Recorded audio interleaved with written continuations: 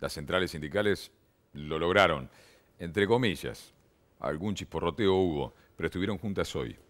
Sí, que ese es el, mensaje que hay que leer más allá de la protesta, que fue contundente y muy específica, ahora la vamos a analizar en, algunas frases, pero el reclamo al gobierno fue explícito. Hay una, una, crítica muy fuerte a las políticas económicas, fundamentalmente al tema de inflación, a la, crítica por los despidos en el sector público y en el sector privado, y otra vez ganancias, pero fíjate, ganancias que era el reclamo central el año pasado, ahora pasa a ser eh, el tercero en la agenda de la protesta. El acto fue contundente, pretende marcarle límites a la política económica del gobierno de forma clara, y el otro mensaje es interno, la posibilidad de la unidad. Hoy claramente los dirigentes gremiales dijeron que antes de agosto tenés una CGT unida y antes de diciembre probablemente tengas una sola CTA. Y creo que de alguna manera las políticas económicas del gobierno que tanto preocupan en forma general les han hecho limar diferencias realmente muy grandes que había entre estos mismos hombres